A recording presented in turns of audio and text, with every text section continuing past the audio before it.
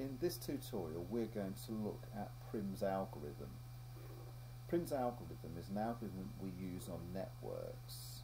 Um, it's an algorithm that finds the minimum spanning tree and the minimum spanning tree is just the shortest network that joins all the nodes together. A node is a point on the network, so in this case the points are A, B, C, D and E and the network is the set of paths joining those points. So in this case the line here AB is a path and AE is a path and so on. So what's the process we go through to use Prim's algorithm to find the minimum spanning tree? Well the first thing we do is we pick any point on the network. Sometimes we'll be given a point to start with. We then pick the shortest path that's connected to this point to create a network. Now we pick the shortest path that's connected to this network, provided it does not create a cycle, and a cycle is where we create a loop. We then go back to 3 and we can continue um, going back to 3 until we can't pick any more paths without creating a loop. So two things we have to note. One is sometimes we'll have two paths of the same length. And the thing to note is it doesn't matter which path we pick. The other is that the weight of the tree, the weight of the minimum spanning tree, is the length of all the paths added together. And one thing to note is that we're only interested in knowing one of the possible min uh, minimum spanning trees. There can be several, and deciding on which path you pick when you've got a choice between two or more of the same length. You can get different answers, but they will have the same length. Okay, for now for an example.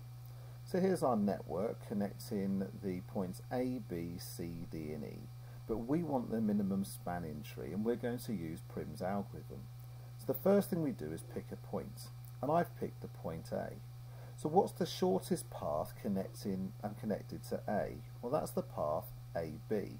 So I'm going to highlight AB and then I'm going to record what I've done by writing AB equals 3.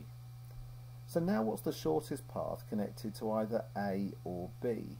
Well, that's the path AE and that's got a length of 4. So I'm going to record that I've now picked AE with a length of 4. Now what's the shortest path connected to either A, B or E? Well that could either be ED or EC and it doesn't matter which one you pick. So I'm going to pick EC and that's a length of 2 and I'm now going to record that by saying EC equals 2. So now what's the shortest path connected to A, B, E or C? Well we can see that that's ED so I'm going to highlight ED and I'm going to record that by saying ED equals 2. So now what's the shortest path connected to A, B, E, C or D? Well, it could be um, CD, but CD would create a loop that goes from E to C to D. So we can't use that one. What's the next one? Well, that's BC, and that creates a loop a, B, C, E, so that's no good. And what about AD? Well, that creates a loop um, between A, E and D. So we finished. So now what I'm interested in is what's the weight of the path. So I add together the 3, the 2, the 4 and the other 2 and we get a weight of 11. Here's one for you to try and see how you go. Discuss the answer with your friends, share the weights that you get. I hope you found this tutorial helpful. Stay in infield with Winfield.